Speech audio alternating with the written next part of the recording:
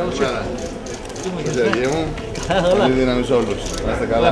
Πού είναι όλοι. Εδώ, παιδιά, γέλατε λίγο. Γέλατε εδώ ήρθατε πρόεδρε στο δικό μας με, με τον οποίο σας συνδέουν δεσμοί αίματος και ευχόμαστε καλή λευτεριά για την πατρίδα μας. Εύχομαι σε όλους σας καλή επιτυχία, καλή δύναμη. Και όσο και αν πετάνε λάσπες, όσο και αν μας πολεμάνε, εμείς θα τους νικήσουμε. Είναι πραγματικά θλιβερό να βλέπει κανείς κάποιους πολιτικούς οι οποίοι πήραν κάποτε την ψήφο του ελληνικού λαού να μετατρέπονται σε πλαστογράφους. Σε πλαστογράφους της μεταπολίτευσης. Να χρησιμοποιούν ακόμα και την πλαστογραφία, το κακούργημα της πλαστογραφίας προκειμένου να, να κρατηθούν με τα νύχια από ένα τείχο ο οποίος καταραίει. Θα πρέπει να καταλάβουν ότι με πλαστογραφίες, με λάσπες, με βρωμιές δεν πρόκειται να κερδίσουν. Δεν αναστρέπεται το κλίμα του ελληνικού λαού.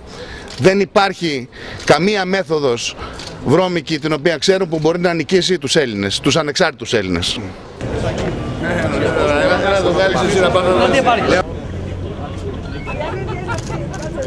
Καλό δεν το βγάζει με τίποτα. Αντώνη,